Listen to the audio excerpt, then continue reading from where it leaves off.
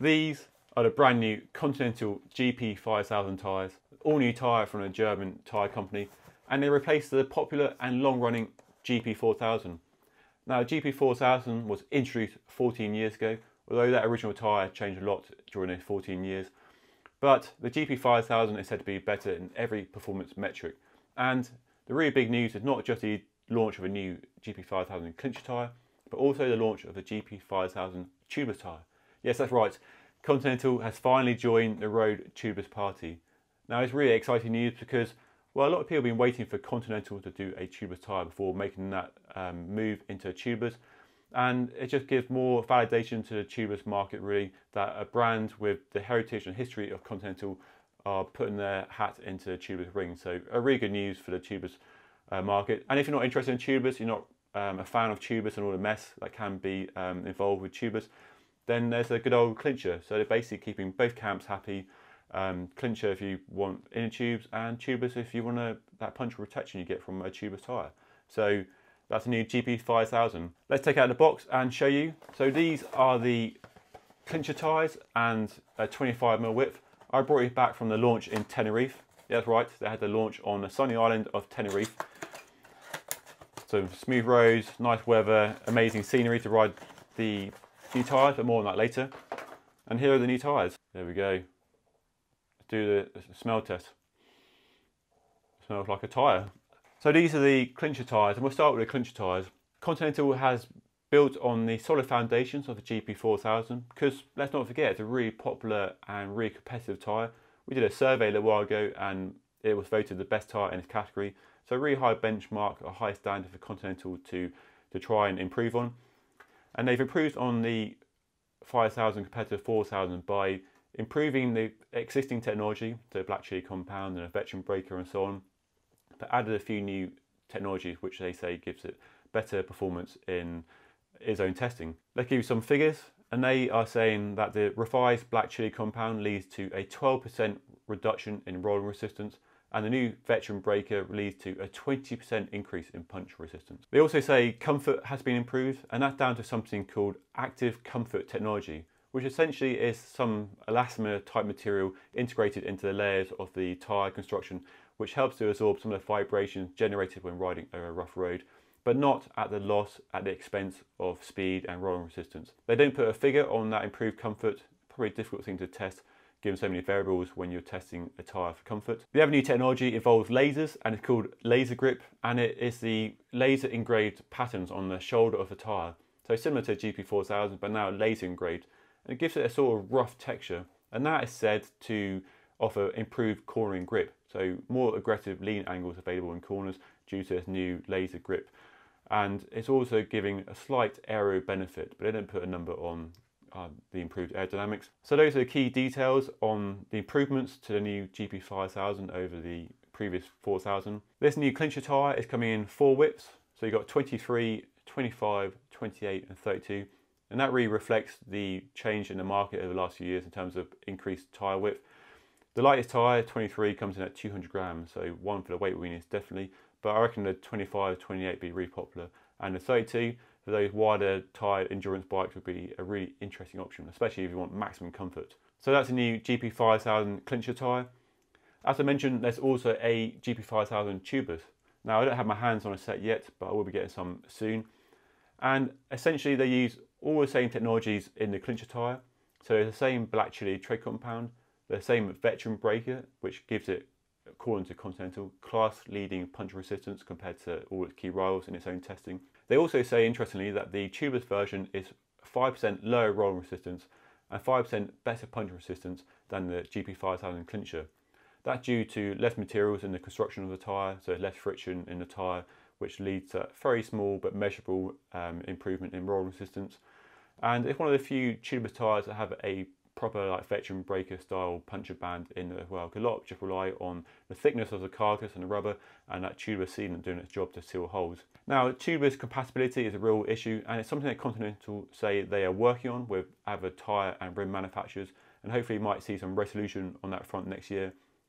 But they do say they've tested their tubeless tyre with all possible rims and they've not had any problems.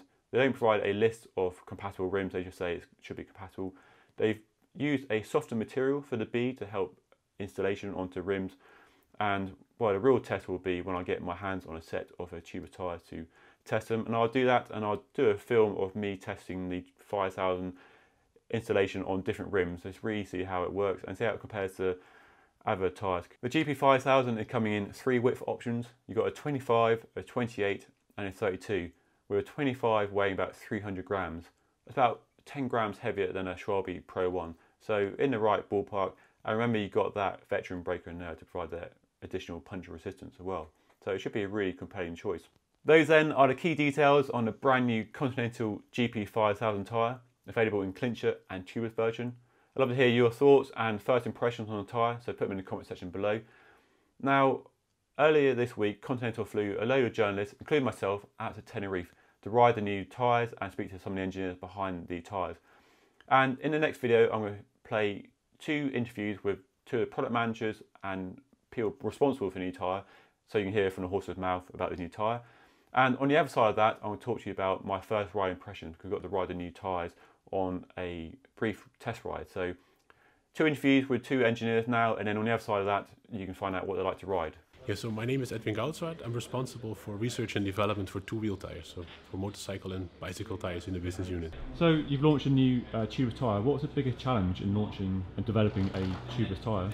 The, the, the, biggest challenge has been to, to have a tire which really keeps the air with uh, allows also the mountability. I mean, we have a lot of tubeless tires out there that are very difficult to mount, and uh, what our philosophy is, it needs to work easily with the floor pump to, to mount these tires. And the biggest challenge with tubeless is like compatibility with different uh, rims and tyre combinations, and installation is kind of quite tricky. What have you done to get around that kind of issue with tubeless?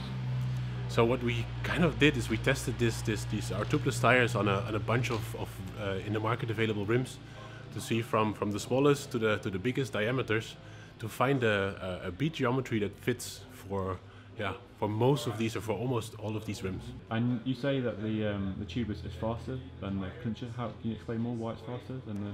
Yeah, you, you, we have less material. I mean, okay. we have a we have an inner liner, which is a very thin layer of rubber on the inside of the tire, and uh, the tube is always thicker. So if you have more rubber, you have more material which is moving, which is consuming energy.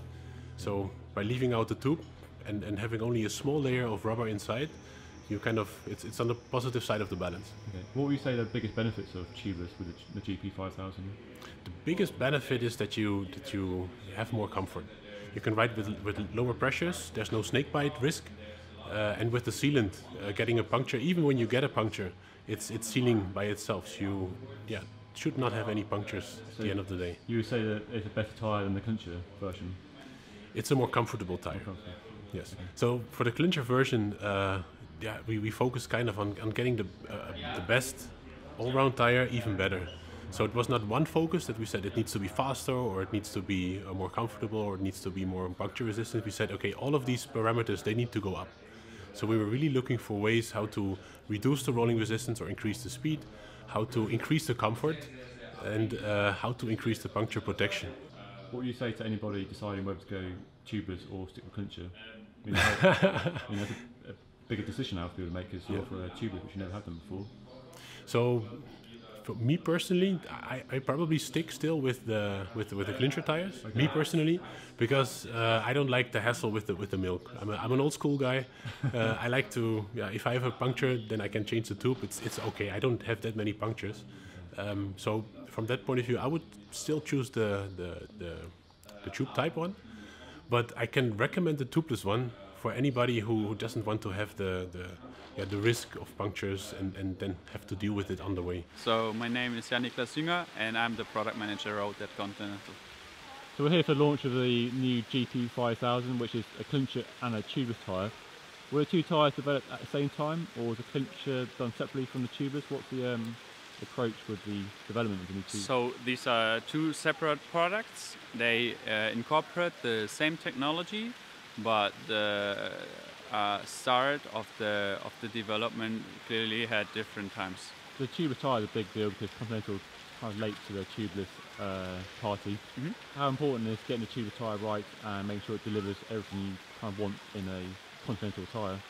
Well, we have to be confident with our products we're putting out. So uh, for us, we took the time to have the safe tubeless system that um, gives you the full uh, package you want because the demands on the road are typically different than to tubeless on uh, mountain biking. And we are confident right now, and we are thinking that this will have the tubeless package and will give the whole tubeless interested uh, road cyclist a boost and a boost of confidence that well they can use it right now. Okay. And you've had tubeless technology on the mountain bike world for quite a while now. It's been quite difficult transferring the technology to the road market.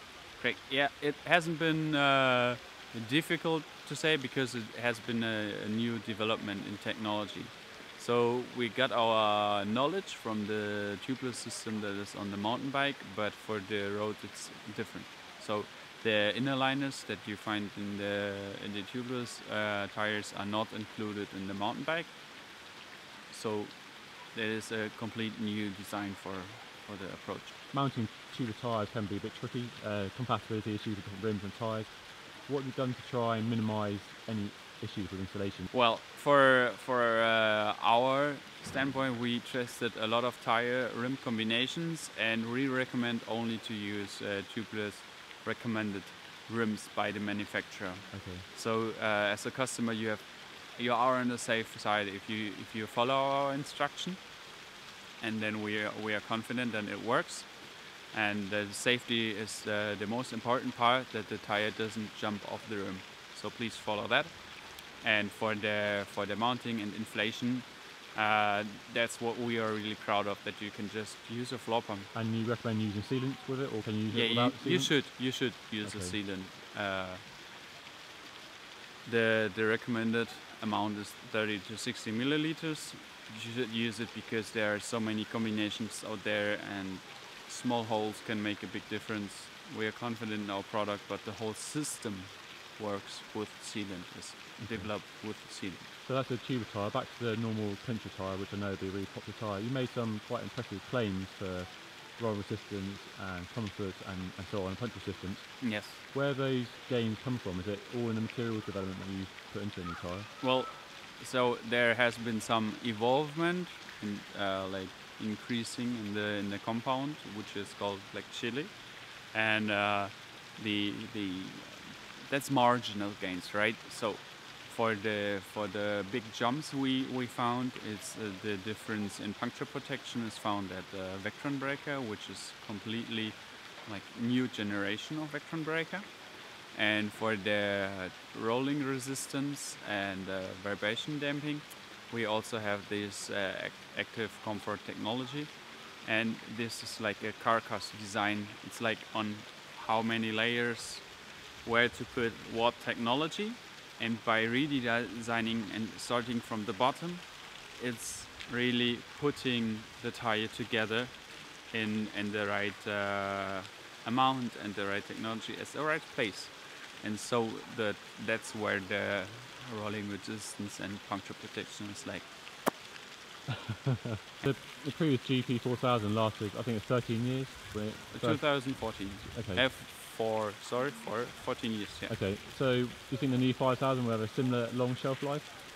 well Or is there 6000 on the horizon already? No, how, no, no, no, How no. far ahead are you planning? no uh, we're definitely planning not to have 14 years to till we we make the next big step. What you have to understand is that we had the 4000 and it already is a different tire than uh, the one what was released in 2004 Okay. so. But we only changed the name if it's something completely new. So what we found we had some new technologies.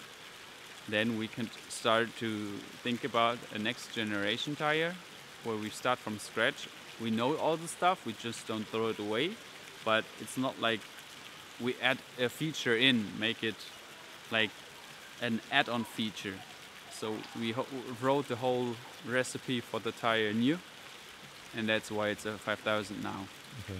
How much more development potential is there in the in the tyre in terms of like the compounds and like decreasing the weight and improving roll resistance? How much more scope is there for improving tyres generally?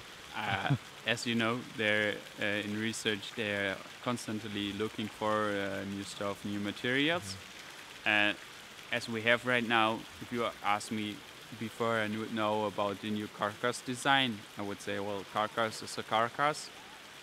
But right now we found a new uh, feature, how, how to build it. So the improvements come with uh, an invention, and the invention doesn't grow on trees, and you have to put in a lot of work. So there's still improvement available for sure, and we have I have some something in, in mind, but I can't tell you because we're working on that. Um, I I can't give numbers or percentages. Uh, I'm just confident that there will be improvements, but the 5000 is like the new level, and we work from here. That's the benchmark right now. Well, that's interesting, I thought. Let me know what you think in the comment section below. Now, as I mentioned, we were in Tenerife to ride the new tyres, and I got to ride them. One ride, 45 kilometres in distance, and but if you know Tenerife, you'll know the roads out there are silky smooth. They're like on glass, and probably any tyre feels good out there.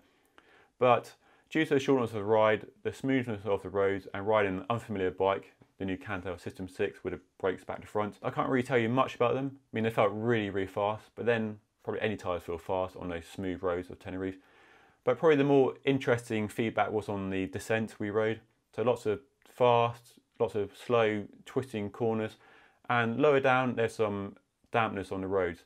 So that transition from the dry to damp roads with lots of varying corners gave us opportunity to really put the tyres through the paces and the corners. And they felt really reassuring. Loads of grip when you really lean the bike over. There's no uh, discernible kind of slip when you really push a tyre hard. They just felt um, to coin a overused phrase, they felt confidence inspiring. I felt no issues with pushing the tyres as hard as I dared on an unfamiliar road, unfamiliar bike with the brakes back to front as well. So they felt really good and first impressions good, but as I said, the ride was too short and you can't really tell much from such a short ride on such smooth roads. But I brought a set of tyres home. These are the clincher tyres, 25mm wide. So I'm going to fit into a bike and I'll get riding them and I'll give you an update video maybe in the next two weeks once I log load miles, let you know how I get on with them.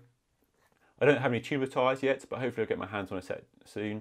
And what I do, I'll do some installation tests on different rims to see how easy they are to install and I'll do some actual riding to see what they're like. And I've ridden quite a few tubular tyres, so I've got some um, good benchmarks to compare them to.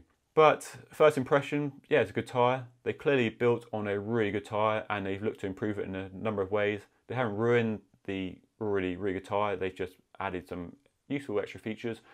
So I think it would be a really popular tyre. I mean, the GP4000 has a lot of fans, a lot of people love the tyre, and the 5000 is as good, if not slightly better. So yeah, not a bad upgrade if you're looking for a new, new tyre. But yeah, been a new tyres. I hope you enjoyed watching this. And if you did, don't forget to hit that like button. If you haven't already, make sure you subscribe to our channel by hitting that red button. It means a lot to us and it means you won't miss any future first looks on new products from us here at RoadCC. But as ever, that's all for now. Thank you for watching and I'll see you all again next time.